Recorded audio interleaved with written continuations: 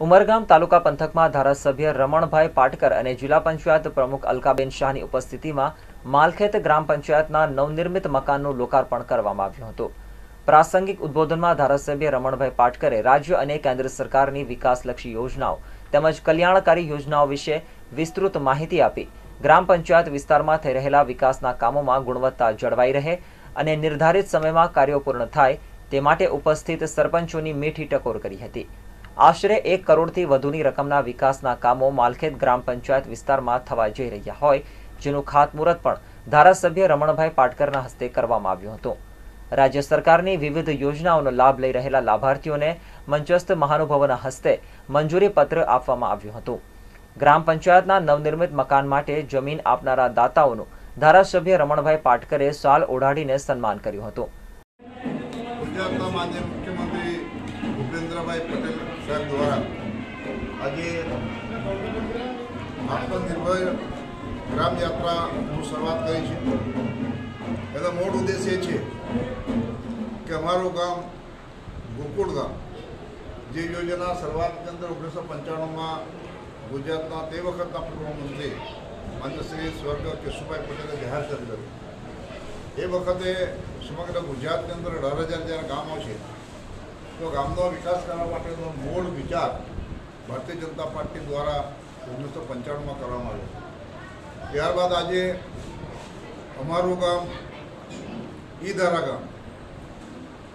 એટલે કે દરેક ગામની અંદર અમારા ટેકનિકલ આધુનિક સાધનો દ્વારા સત્તાવન જેટલી ગામની સુવિધાઓ જે આધારિત ડોક્યુમેન્ટ દસ્તાવેજો એ જ ગામમાંથી નીકળી જાય. એવી વ્યવસ્થા પણ આ ગામની અંદર કરવામાં આવી છે. ગામની અંદર પીવાના પાણી, એપ્રોચ રસ્તાઓ, મુખ્ય રસ્તાઓ તથા આંગણવાડી શાળાઓ જે ભૌતિક સુવિધા ગામની અંદર જોઈએ, એ તમામ ગામની અંદર પૂર્ણ થઈ છે. આ અહીંયા શરૂઆત કરીએ છીએ એટલું જ નહીં, પણ ઉંબર ગામના ત્રેપને ત્રેપન ગામની અંદર, કોઈ પણ ગામની તમે અંદર જશો, તો ગામનો વિકાસ જ્યારે આત્મવિશ્વાસ સાથે લોકો કહેશે કે પોતાના ગામની અંદર આ બધા કામો થયેલા હોય તો. આજે અમે દાવા સાથે અને ચોક્કસ ગામને તમારા માધ્યમથી નિવેદન કરવા માંગીએ છીએ કે ત્રેપને ત્રેપન ગામની અંદર તમામ સુવિધા ઉપલબ્ધ કરવામાં આવી છે અને એટલા માટે જ આત્મનિર્ભર ગ્રામ યાત્રાનો જે નિર્દેશ છે, જે ગામોને લોકોને જણાવવા માટેનો જે કોશિશ છે, એ આજે અમે ચોક્કસ આ પત્રકાર માધ્યમ દ્વારા સમાજને જાણ કરીએ છીએ. હવે જે કંઈક થોડું ઘણું રહ્યું છે, એમાં મેં કહ્યું તે રીતે ગામની સુંદરતા વધે, ગામની અંદર વ્યવસ્થા બને, ગામના યુવાનોને રોજગારી મળે, એટલા માટે ગામ સ્વાવલંબી યોજના પણ અમલમાં છે. એમાં પણ વીસ હજાર દેશના વડાપ્રધાન નરેન્દ્રભાઈ મોદી દ્વારા ચૌદ હજાર કરોડ રૂપિયા ગુજરાતની સરકાર દ્વારા મંજૂર કરવામાં આવ્યા છે. પોતાને આવડતો ધંધો પોતે કરશે તો એમાંથી લોન આપવામાં આવશે.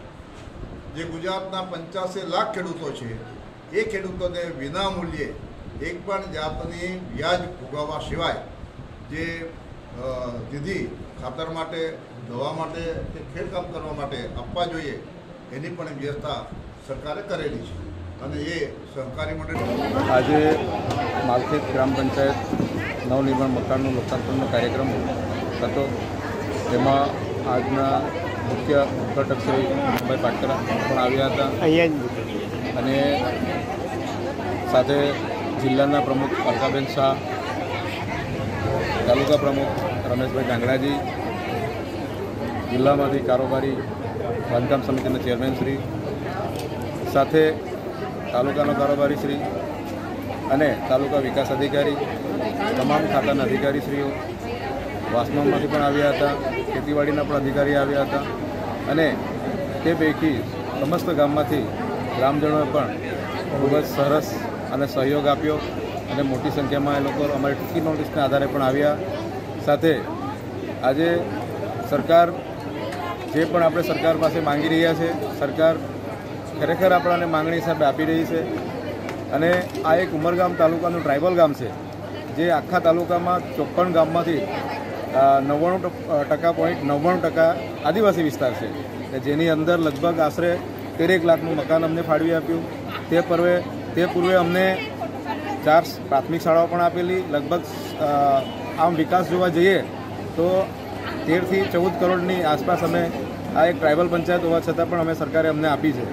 એ તબક્કે હું સરકારને પણ આભાર વ્યક્ત કરું છું. સાથે મને જે હિંમત આપી આ પંચાયતની સ્થાપના લગભગ કરીને ઓગણીસો નેવ્યાસી કે નેવુંની વાત છે, ત્યારે ખતરવાડાના સરપંચ અને ખતરવાડા પંચાયત સાથે અમારું ગ્રુપ હતું. તે સમયના સરપંચ મધુભાઈ, સ્વર્ગીયવાસી મધુભાઈ ડાફરેજી સાથે તે સમયના અમારા વિસ્તારના સભ્યો જે હરજીભાઈ શિડવાજી જે એકદમ યંગ હતા, એમણે ખૂબ જ યથાર્થ પ્રયત્ન કર્યા. અને એમની સાથે મૂળજીભાઈ કાકડ, ગજુભાઈ ફરારા એ અત્યારે હાલમાં નથી, એ સ્વર્ગવાસ થયા છે. મોરાર, મોહનભાઈ મોરાર ધોડી એવા ચારેક સભ્યોના યથાર્થ પ્રયત્નોથી આ પંચાયતનો પાયો નખાયો હતો. હતો. અને એ એ એ રીતે આજે આ એની એની ઉપર આજે આ મકાન અમે સરકારમાંથી લાવીને સરસ એવું બનાવ્યું છે. સાથે એમાં તમામો મને સહકાર આપ્યો છે. તો સાથે આ તમામોનો હું